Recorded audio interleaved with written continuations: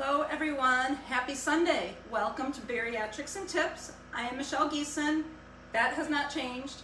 I am coming to you live from my kitchen here in Grand Rapids, Michigan. Welcome to an early edition of BariaTricks and Tips recipe demonstration. Thank you so much for those that are tuning in today an hour earlier. If you're new to this format, we are usually meeting at 2 o'clock on Sundays, but I've got some thing that I need to do at 2 o'clock today. My good friend's son is obtaining his Eagle Scout, and it's a huge, huge deal for him and for his family and for me because I'm part of the family. So I'm gonna attend that and I just wanted to say congratulations Zachary on your Eagle Scout. Hopefully everyone understands. Thank you so much for bending and flexing with me for this. Welcome. We've got a great, great, great episode today called Zoupa. We are gonna talk about soup. Um, and I just wanted to thank you all for being here. I tell you all this all the time. I look forward to Sunday recipe demonstrations a lot. It actually gives me a lot of opportunity to do my own meal plan because a lot of times I'll plan meals, even Sunday night dinners, based on my recipe demonstrations. That way nothing goes to waste. So it's really um, a great thing for me too. I've already been to the grocery store today. I've already got everything that I need for the week. I'm really proud of myself. I spent less than a $100 and I just shopped for the week. And that is my ultimate goal in an effort to live large and cook small. There's no reason to buy more than what we need because so many times things have just gone to waste because I haven't used them. And so my goal is always to live large, cook small, and shop small. So that's what I'm doing. So, you know, one thing that we all have in common is that we have all had weight loss surgery or we're gearing up to have weight loss surgery. And then even for those who aren't, maybe you're supporting a loved one or you are just on a quest of your own to eat healthier. Whatever the reason, we've got this journey somewhat in common. And just because we're given this bariatric tool doesn't mean we have to feel deprived of eating well. We can still do this. Food is a huge part of our lives. Whether we like it or not, it's here to stay. We have to eat to live, not live to eat. Um, and it's one of those things where if you can't beat them, join them. We're always going to have potlucks at work. We're always going to have family get-togethers for holidays and just because. We're always going to be in the car on the go and we need to find ways to eat on the go without succumbing to the golden arches or, you know, got meat. Something like that. At any rate, the whole goal here is to not have to walk the face of this earth feeling deprived. Just know that, don't think you can't have this, you can't have that. You can. You just have to make good healthy choices for yourself. You make the choice, you stay in control. I'm type A control freak personality all the way. I know firsthand. It is up to me what I choose to put in my mouth. No one's holding a gun up to my head. I make that choice. And if I make a choice that's not good, then I'm gonna have to live with it. I'll have to accept it, um, you know, not be, not be in denial of it. And then I'll have to move on and create that action plan that allows me to have the best of both worlds because we can. Remove the word deprived from your vocabulary because there's no way you should ever have to feel deprived. Um, you know, this is our second chance to live. This is, oh, thanks, Melissa. This is our second chance to live. This is our second chance to do things right and, and, and have a do-over. Bariatric surgery has made that possible for me and I know I'm worth it and I know you're worth it too. So just remove the word deprived from your vocabulary because here we go. And one great way to do that is with soup. Um, I want to get to the Sunday Spotlight real quick. I had sent three requests to um, various members of our group page for the Sunday Spotlight invitation and I didn't hear back from them and I'm very, very bummed about it. I don't know if people don't understand the significance of the Sunday Spotlight or if you're scared or you don't feel like um, it makes sense to you, but it doesn't matter what part of the journey that you're at. The Sunday Spotlight, Sunday Spotlight is to recognize you and your efforts. You already did the bravest thing possible. You made the choice to have bariatric surgery. It wasn't one that should be made overnight. It wasn't cheap. It was a brave, bold move, and that alone requires celebration. So it doesn't matter if you are new to the journey and lost two pounds, or if you're a seasoned, um, a seasoned survivor like myself. It's been six years, and I'm down 130 pounds whatever whatever the milestone is sunday spotlight allows us to celebrate with you. And i want you to please think long and hard about accepting my invitation right now. Who wants to be on for the sunday spotlight next week? Please send me a message. I will still wait for the people that have that i've invited to come forward but i would love love to recognize you. Um, and all it requires is a short little bio, maybe a before and current picture, and then we can help celebrate you because you are so worth it. And I'm so glad that everybody is here for the journey, okay? Remember, you are worth the effort. You need to love yourself through thick and thin, and I mean that literally and figuratively. And that's one of the purposes of the Sunday Spotlight. So please think about it. We're gonna shift over to our Zoupa episode because um, time is of the essence today. But I have two soups prepared for you and then a bonus recipe that is actually in the oven at 350 degrees right now. Um, and everything will be posted for you starting at 2 p.m. Um, I have prepared for you two kinds of soup and then the bonus recipe, which I will share with you shortly. Um, we're gonna start off today with chi my chili recipe. Um, it has been chili is a really soft uh, is a really rough topic for me because I have never found a recipe that I love so much where I have to have it again and again and again until now. Okay? I'm going to be 50 years old this year. I'm not going to lie. Finally, after 50 years, I have found a chili recipe that I absolutely love, and I hope that you love it too. The main thing that you want to know is the premise of this. Like I said at the very, very beginning, we all take what we need.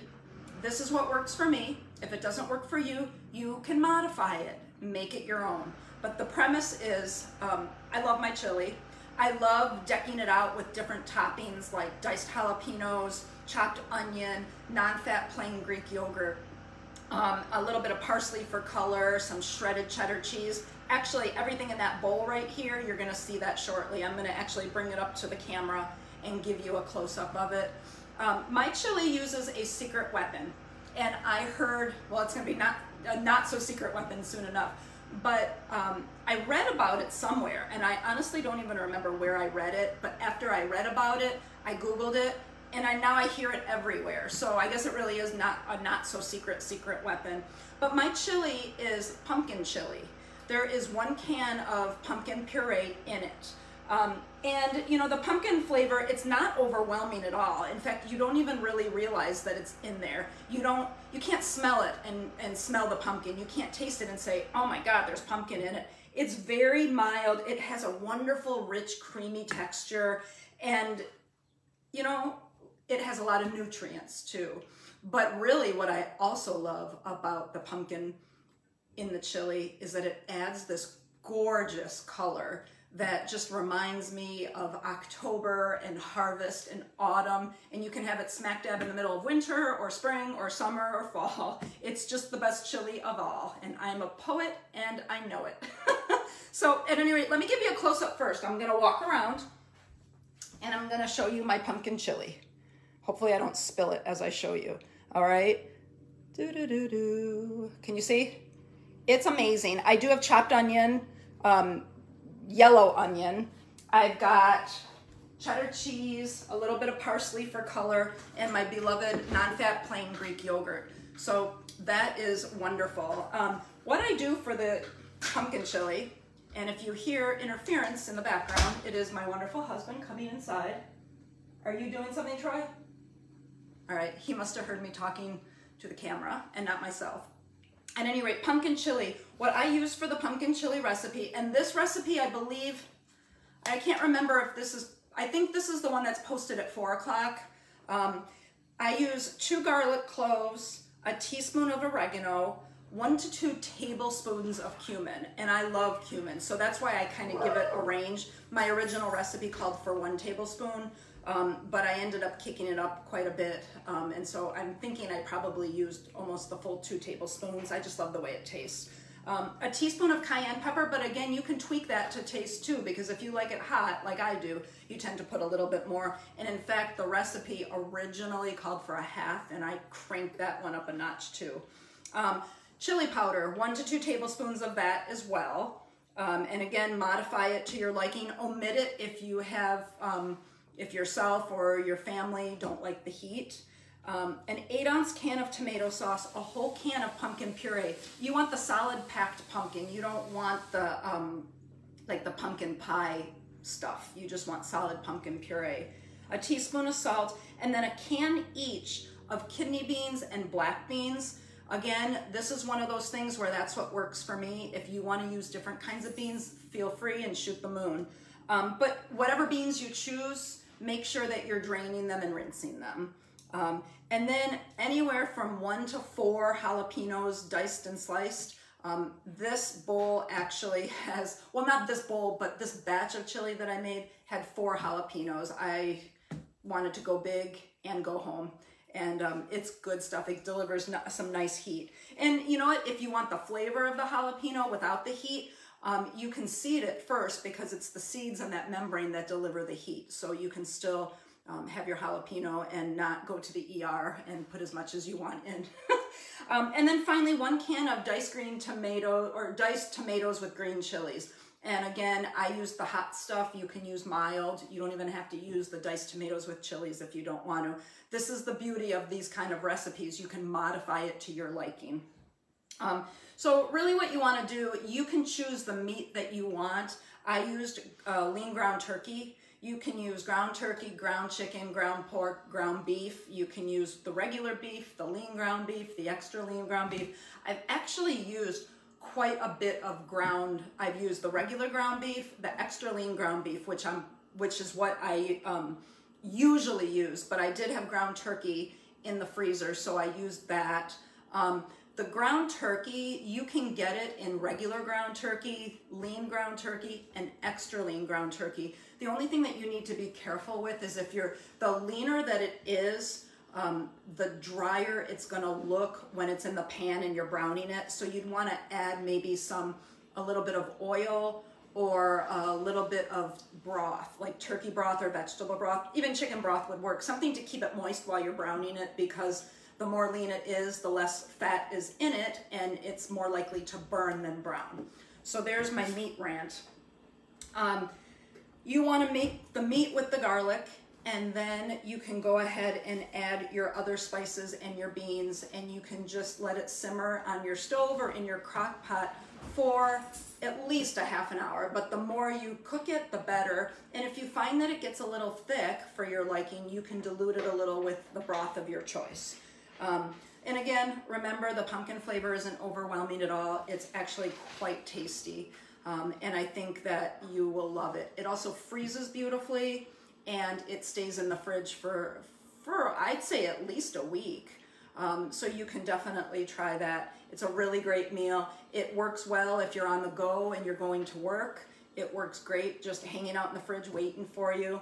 It's just a very delicious, comforting meal. So that is my pumpkin chili. I hope that you adore it as much as I do and definitely cater it to your liking.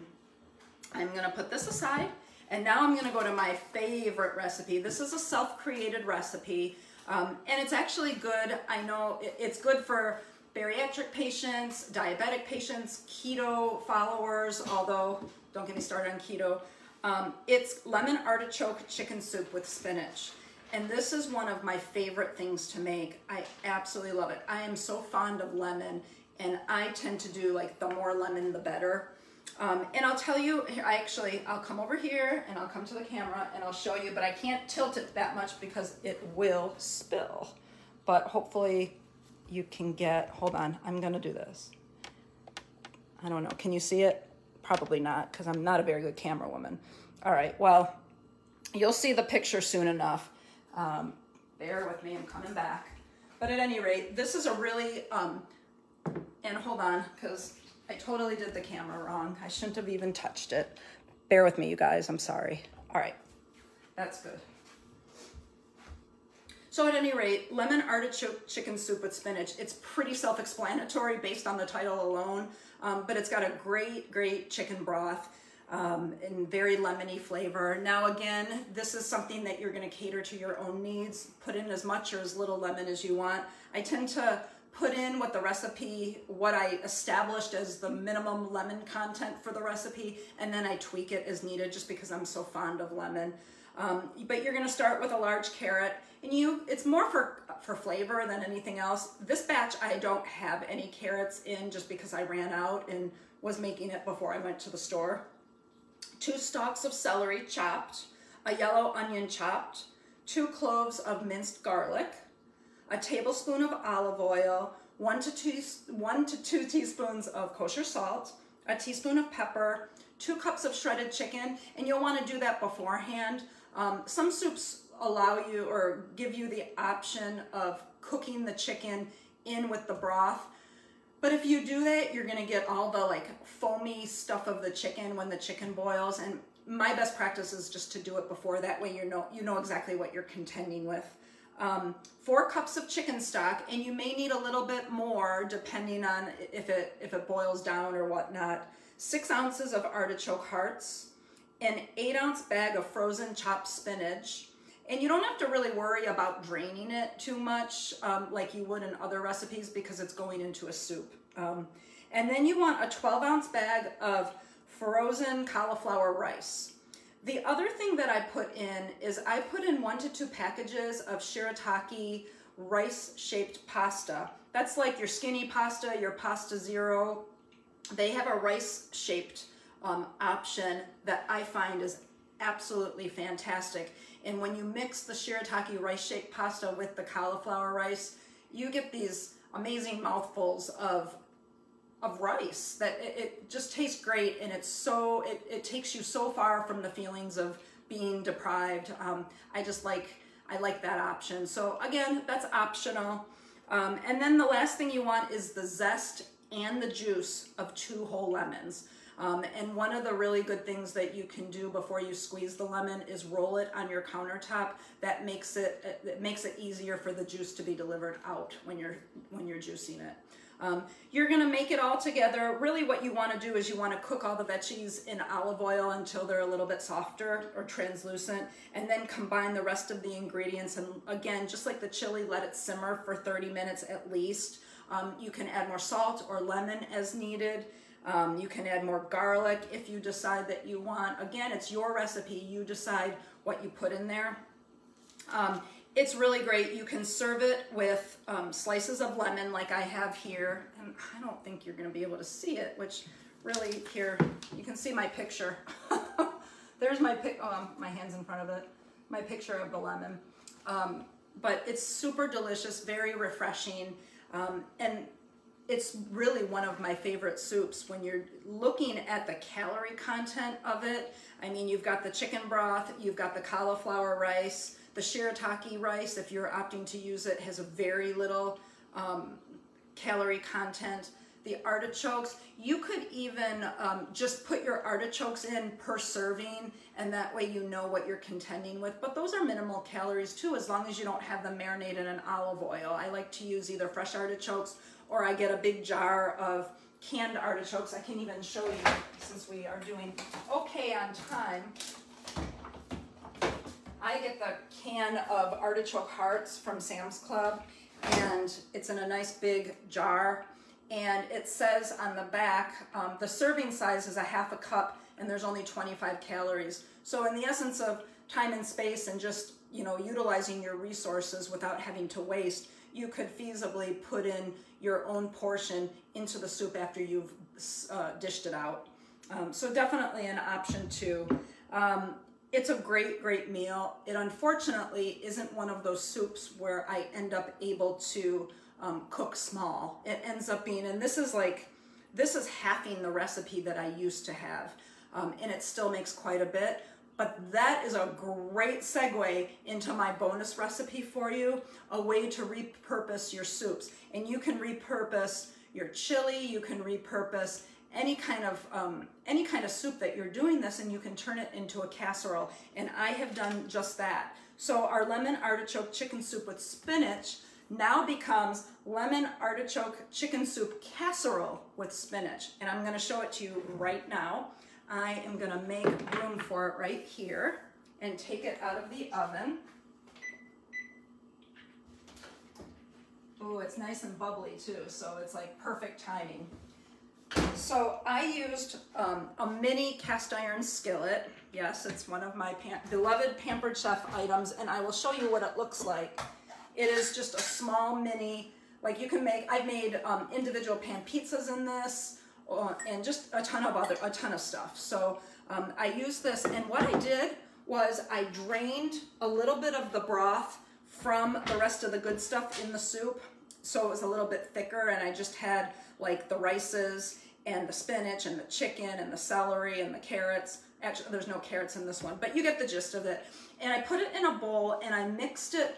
I set aside a cup of mozzarella cheese and then I set about a quarter of a cup aside from that and I mixed all the cheese in with the guts of the soup and I poured it into the skillet and then with the remaining cheese, I put it on top and I put it in the oven at 350 right before we started our show.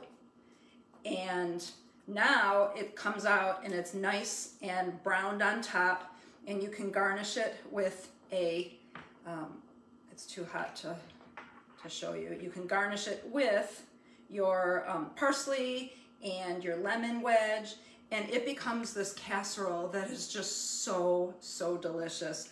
I was really pleased with how it came out. And actually, it happened late last week when I was, I worked from home and I was hungry, but I don't, I didn't know what I wanted. And I really wasn't feeling soup, but I ended up just kind of putzing around and that is what I got from it. So when you hack into it, you just get this amazing, cheesy, lemony, casserole kind of soup casserole and it's delicious. And so a really great way to repurpose your soup or your chili um, just to add a little bit of cheese, add what you think would make it good, and then you have a repurposed meal where you don't have to waste or you don't have to dread eating the same thing every day until it's gone. So hopefully that gives you some food for thought, literally and figuratively. I know that it was a pretty quickie recipe demonstration today, but there are so many things that you can do with soup. Um, it really helps uh, vegetable broth and chicken broth are really good, low calorie, fat, virtually fat free um, ways for you to make your own soup, make your, make your own creations. If you are here in the Western Michigan, Michigan area and you have, um, you shop at Meijer, broth is on sale this week for a buck. A buck for a big, huge, um, like large drink box full of chicken stock or vegetable stock. I just bought some today while I was at the store. Um, it's a great way to stir fry. It's a great way to um, make your soups and your casseroles, and I highly recommend it. It's it's just a non-caloric way of getting what you need. Um, and so you can definitely feel good experimenting if you have any questions about any of the products or items that I have shown you today, please let me know. I'm always happy to help. If you have further questions, don't forget to always loop your surgeon and or dietitian into the mix. They are the pros. Um, you know, toss ideas around in your local support group through your bariatric clinic. Uh, we do that a lot here. Um, as always, BariaTricks and Tips is on all social media. That's Facebook, YouTube, Twitter, Instagram, TikTok, and Snapchat. Next week, we are going to be doing Memorial Day makeovers. And I haven't solidified the menu yet, which means if you're thinking of something that you might want to have or serve, send me a message. Let me know because maybe I'm thinking the same thing and I'd love to be able to make that over for you next Sunday um, which is May 23rd. Um, after that, we are going to do on May 30th, we're going to do salad dressings, dips, and spices. And then June 6th, we are going to do Breakfast Bonanza, and the wheels are already turning with that menu planning. So lots of fun stuff on the horizon. I appreciate you guys being such a great part of our group page, and I hope you have a fantastic Sunday. And don't forget to live large, eat small, and find flavor in everything that you do, okay? Have a great day, you guys. Bye-bye.